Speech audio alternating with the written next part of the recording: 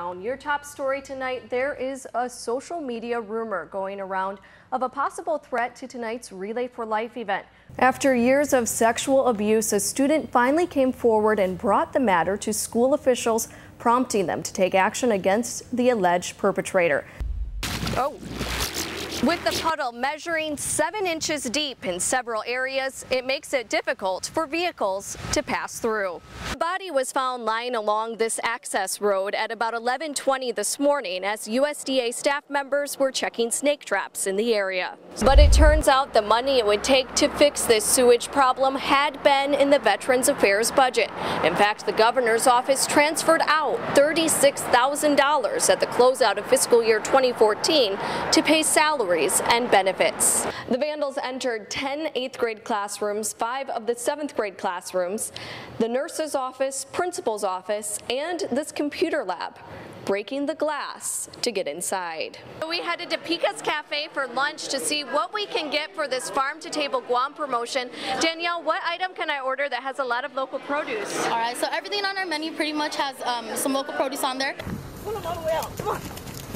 Officers were unable to open the driver's side door due to damage from the collision, but in the video you see them pull the man from the passenger side of the vehicle only moments before the car is engulfed in flame. But the couple isn't stopping there. Their next step is to stop here at the District Court of Guam, where they plan to take action for their right to marry. And already on their first day, students were introduced to robotics, which will be an everyday part of their education. There's a lot to be discovered in the world's oceans, and a crew from the BBC is currently on Guam making discoveries of their own while filming for a seven part series called Ocean New Frontiers. BBC producer Miles Barton and cameraman Rod Clark have been here for about two weeks, focusing on the island's coastal areas. And what you've got is great crashing waves, particularly on one side of the island, and then on this side of the island, fortunately, it's a bit calmer, and we can get closer to the kind of life that comes out of the rock pools. So we're looking at crabs and uh, hermit crabs, things like that. It's the tiny critters in these coastal areas that come and go with the ocean tides that the filmmakers find most fascinating. Discovered these chiton things that I'd never actually heard of. Basically, they're a big slug snail-like thing but without a shell.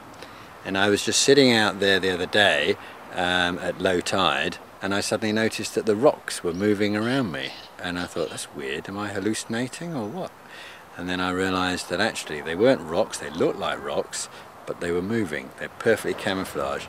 The chitons feed on the rocks during low tide and then go back into hiding when the tide comes back in. A time lapse of their activity will be featured in the coastal episode of the series. Betsy Brown, PNC News.